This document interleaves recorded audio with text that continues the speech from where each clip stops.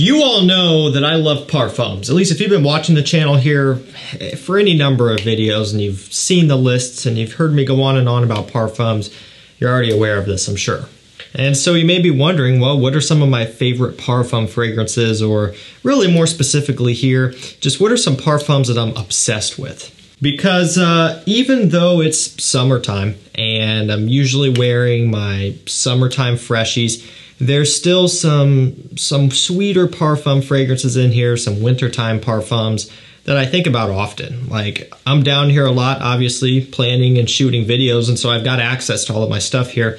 And so a lot of times when I'm just trying to brainstorm stuff, I'll just kind of gravitate over to some fragrances that I really like that are out of season, and I'll smell them and I'll be like, oh yeah, you know, uh, this stuff here, it's still just as good as when I first smelled it. So I'm just going to go over some of my favorite parfums and or some parfums that I'm also just currently hooked on. And I will link all these fragrances down below as well. So if you want to pick some of these up, you can do so at any time. If I'm referencing pricing here in this video, it's going to be based off of discount prices. So use those links, save yourself a ton of money, and also get subscribed to the channel because if you notice on my community tab, I'm posting deals all the time, right? Sometimes it's a bit slow. Sometimes uh, websites just don't really have anything running. Other times it's like all at once, a bunch of deals pop up, a bunch of rare things may come into stock. So you want to make sure you're subscribed and you're just checking the community tab a couple times a day. Make sure you're not missing out on anything good. Uh, now with that, let's just get into it. And we're going to start off with Armani Code Absolu, which is a parfum. Uh, might be easy to forget about that. I know for me, sometimes I even forget that this is a parfum just because it's one of the fragrances where it isn't in the name. Um, you got Armani Code Profumo, which of course is a parfum, Acqua di Gio Profumo parfum, but this one is absolute, right? So it's easy to forget. Uh, sometimes you may think it's an eau de parfum, but no, this is a true parfum concentration with vanilla, orange, suede, and uh, all of that good stuff. A little bit of um, this tonka bean kind of dusty, powdery sweetness as well. It's a really, really impressive release. I was hooked on this one ever since I first smelled it. The first time I smelled it, it kind of blew me away for sure. And now each time I smell it, I'm still like, wow, like this here is really good stuff. Now I've got another one that I've been bringing up here lately. It's a new release of, as of this year, and I don't know, it's just one that's completely changed on me for the better, and that is Gucci Guilty Parfum. So I have the cap off because I was going to spray it. Um, Gucci Guilty Parfum, that's what it looks like, full presentation style. So true parfum. Now this one has lemon, juniper, orange blossom. Now what is so interesting to me about this one is there's some sort of different smell about it. Like the fact that it's parfum concentrated, but then also using some of these brighter notes like I just listed off. There's also this weird texture in here that I don't really get from any of the others or from any other fragrance. It's just one of those deals where when I smell it, it just has this richness and this kind of addicting and alluring quality about it that literally has me hooked. Like I have been obsessed with this just out of nowhere. I did a first impressions. I wasn't too awfully excited about it at that time, but as I've been down here testing it more to do a review, it, it's like after I sprayed it again and wore it again and a couple times after I'd taken a break from it, it like it had changed on for the better. I'm like, whoa wait a minute, this is really, really impressive. And I don't know, just something kind of random.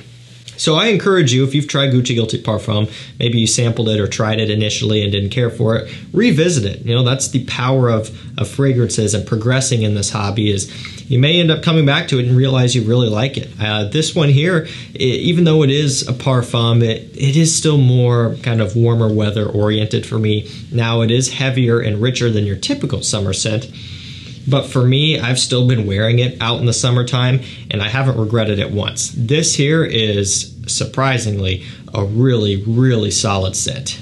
Definitely look into this one. Retails 150. That is just pretty absurd. So hit the link down below, get it for about 113. Still not cheap, but uh, better than retail. Next up, Azzaro the Most Wanted Parfum.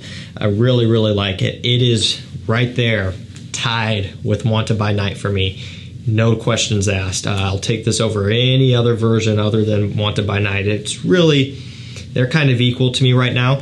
But we'll see how I feel as I really give this one some some heavy wearing as we're going to be moving into fall here in a few months, which is really depressing actually to say that. So I'm not going to say that again, but just know in a little while I'll be wearing this more.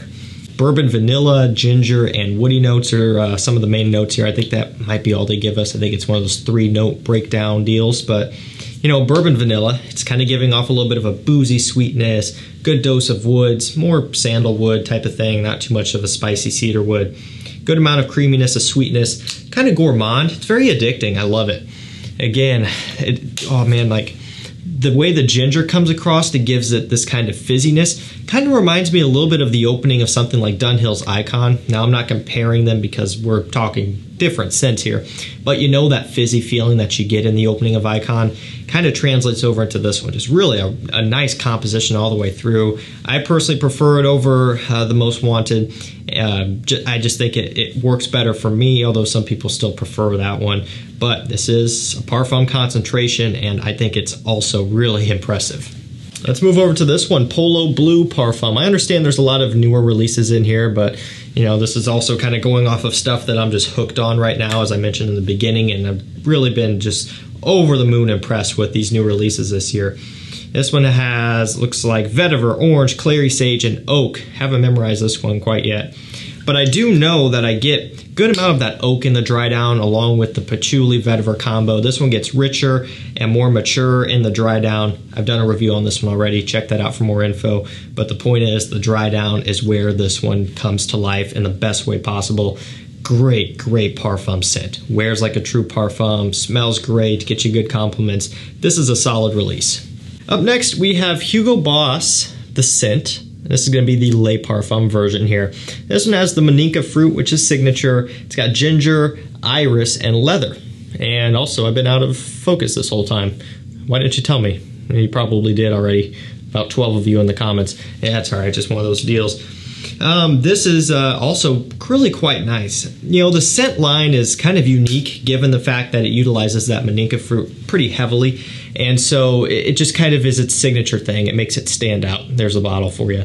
Pretty sharp looking. And at one point they did have um, a parfum. And I think it was in a black bottle. Um, and I think, again, it was a parfum. And they discontinued it. And didn't that one have iris? I don't know. I never was able to get a bottle, but I remember looking it up and wishing I was able to get one. And now they came out with this here, this Le Parfum, which is uh, concentrated as a parfum according to the bottom of the bottle. So that's pretty cool. It wears like one, it behaves like one. I like the iris in here. It's not too strong or too overbearing, but it's one that I find myself grabbing towards more than some of the other the scent fragrances. Nice one here. Let's go and toss in a niche fragrance up next. I haven't really talked about this brand all that often. From Nasomatto, it is Pardon or Pardon. So we've got dark chocolate, tonka bean, and oud is some of the main notes here. Um, it's 30 mil, straight to parfum concentration. And yeah, this here will last you a lifetime. Talk about a strong scent. Really all the Nasomattos are. Black Afgano, Baraonda, all of those are just just heavy hitting, strong, rich scents. And I really like this one just for the fact that it has that chocolatey vibe going on with the woods. Uh, the oud is not too overbearing at all. It's actually a pretty wearable scent, all things considered here. It's nothing to be too intimidated about, although sampling would probably be the best way to go if you're not fully comfortable with compositions like this. Um, but the point is, it's just a really pleasant scent that I initially thought I wasn't going to care for all that much, and I didn't think I would be able to wear it that much. But after getting it in and smelling it, and of course I blind bought it, uh, I was like, you know what, this is way more wearable than I thought it would be. I think that's pretty neat. Next up, Armani Stronger with You, absolutely. So this is their Absolute, which is a parfum, kind of like uh, Armani Code Absolute. Uh, I was super pumped up for this one when they launched it and I saw the note breakdown and I was waiting for my bottle and I saw that rum in here. I'm like, oh yeah, this is going to be good. So it's got rum, has that chestnut note reintroduced. You know, they took it away and intensely, they brought it back here. Uh, vanilla to a heavy extent. A lot of sweetness going on, but that's no surprise from the Stronger With You lineup. But I think that absolutely is going to be the most mature and the most refined and well rounded out of all of them. It's my favorite flanker out of all of them. Uh, still, even over the exclusive editions for the most part. I mean, the new Oud one was really good, but just wearability and performance and mass appeal and all that stuff this is the one to get if you like that boozy touch in here and that's something you're going to be interested in as well so i just think this one really really nice the only issue is it can be a little tough to get here sometimes in the us but just stay on the lookout it's definitely worth picking up next up we have sauvage elixir by dior so this one has a kind of a different note breakdown here very not Sauvage like, and you'll see that in a second here. Um, this one has, looks like cinnamon, lavender, nutmeg, and licorice, among many others as well. Um, there's, uh, I think, I don't know, another note that I'm missing that I had on the top of my head. I think there's patchouli in here, um, but it, it's different it's very warm, spicy, as you can see there by the note breakdown. Uh, all of those notes there that I listed off are the ones that I pick up on the most. So you're getting this warm spice, but also this kind of more traditional uh, fragrant smell. Not aromatic fougere, but just more traditional smelling. You know, it's not your modern blue fragrance type of thing. It smells like something that's going to appeal to the guy who just wants something more mature and something that is more professional because most people would say that Sauvage is a very professional smelling, and I can't disagree with you there. Uh, the Parfum is much more professional, but if you want full on to the max, luxurious and class, then go for Elixir. It's a Parfum. The performance is insane. Uh, it does not take much to get noticed with this. Let's check this one out. Cool Water Parfum. So, um, yeah, Cool Water's kind of gone crazy with the flankers, as is usual with brands like this that put out a lot of cheapies. They're going to put out a lot of flankers. And of course, Cool Water is a, a, fragrance, the EDT, that has done so well that why not write off of that success? I can't really complain because they produce something good here with this one. Vetiver, lemon, pink pepper, some of the main notes here. Um, so it's soapy and clean, citrusy. It's very wearable. It's a great work scent, school scent, just something to wear every day. Um, the pricing is a little bit strange. Like it's not as cheap as the EDT. Uh, it's also out of stock often, so you're going to pay a little bit more than normal. But with that higher cost, does come a higher quality product to me. Uh, the eau de toilette of Cool Water has always smelled on the cheaper side, and it's only 20 bucks. I'm not saying that like you know I expect it to be Xerjoff quality or something, um, but it never really has impressed me on that front. Whereas some other fragrances in that price point to me do kind of have better quality, but this is one that has stood out just in all areas to me. Performs better, stronger, richer, more interesting, and it's just a nice parfum to have around if you just want something easy to wear. Great dumb reach type of scent. This last one is also a really impressive release for me. This is going to be Eros Parfum by Versace. So it's got your typical Eros, no breakdown, the apple, vanilla, tonka bean, Love it. Love Eros Parfum, but I also really love Eros. So this is one of those deals where if you're just not a fan of Versace Eros, then the Parfum is not going to fix that for you. The Flame isn't going to fix that for you. The EDP, any other flanker they put out is not going to change the fact that you don't like Eros. And that's okay. You don't have to like Eros. You know, you don't have to like anything. You can like whatever you want.